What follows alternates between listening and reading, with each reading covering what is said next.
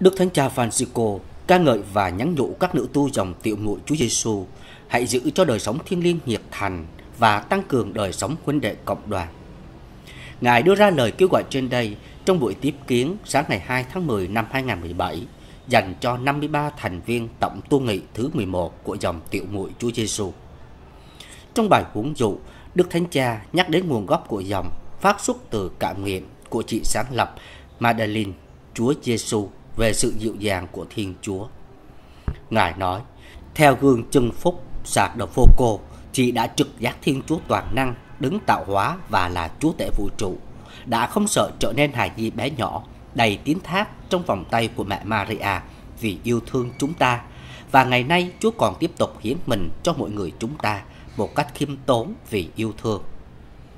Hiện nay, một ngàn tiểu muội rải rác trên thế giới sống trong những hoàn cảnh khó khăn với những người bé nhỏ và nghèo nhất. Các chị ở những nơi ấy chủ yếu không phải để chữa trị, giáo dục, dạy giáo lý. Dù các chị làm những điều đó rất tốt, nhưng các chị ở đó để yêu mến, để gần gũi những người bé nhỏ nhất như Chúa Giêsu đã làm, để loan báo tin mừng bằng cuộc sống đơn sơ, lao động, hiện diện, thân hữu, đón tiếp vô điều kiện. Đức Thánh Cha mời gọi các tiểu muội liên tục trở lại kinh nghiệm nguyên thủy ấy về sự gần gũi Thiên Chúa, đứng hiền từ và khiêm nhường hiến mình cho chúng ta để cứu vớt và làm cho chúng ta tràn đầy tình thương của Ngài.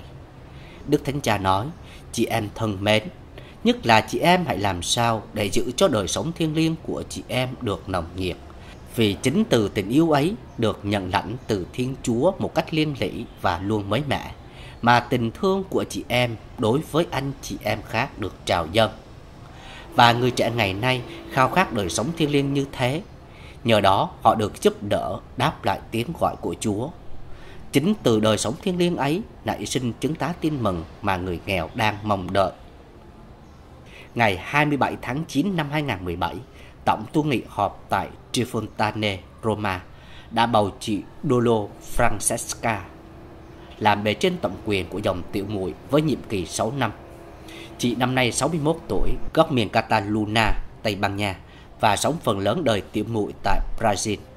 Chị là người điều hợp các huynh đoàn của dòng ở Mỹ Châu và không thuộc số các thành viên của Tổng tu nghị hiện nay khi được bầu. Vì thế ngày 29 tháng 9, chị mới từ Brazil tới và chính thức gia nhập Tổng tu nghị. Chị Dolo Francesca kế nhiệm chị Maria Chiara người Ý cai quản dòng từ năm 2011. Tổng tu nghị cũng bầu 5 thành viên của Hội đồng Tổng Cố vấn.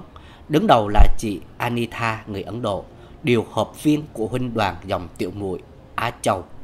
Bốn chị còn lại là người Liban, Pháp, Rwanda, Áo và Iraq.